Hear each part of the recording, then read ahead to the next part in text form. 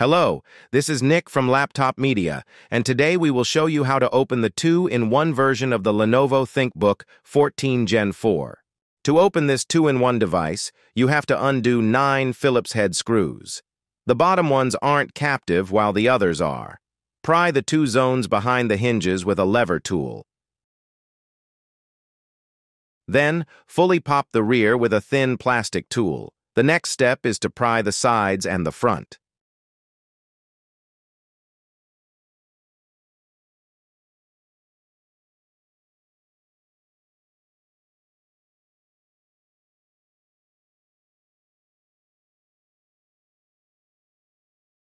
This battery has a capacity of 60 watt hours.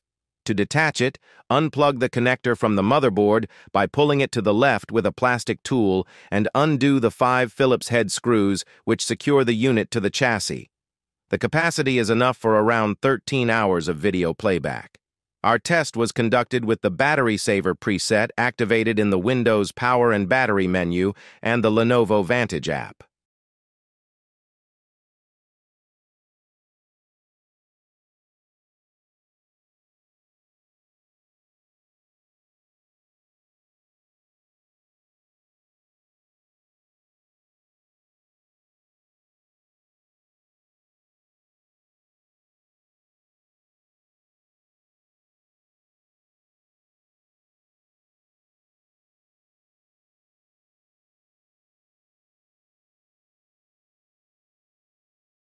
The memory section and part of the cooling are covered with a mylar film and you can peel it.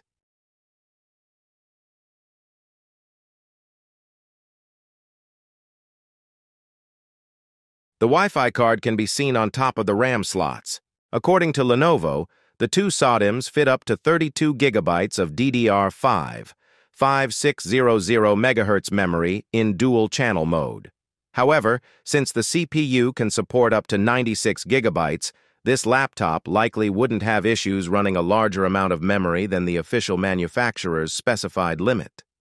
For storage upgrades, you get two M.2 slots compatible with 2242 or 2280 Gen 4 SSDs.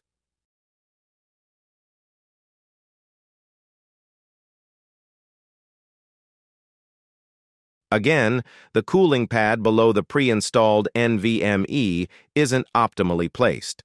Of course, this can be fixed in no time.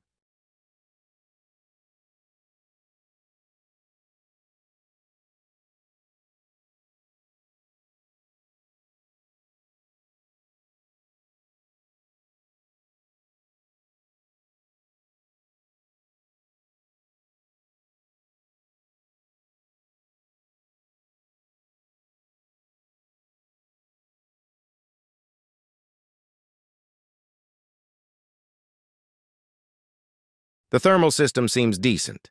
It comprises a large fan, two long heat pipes, a top-mounted heat sink, and a heat spreader.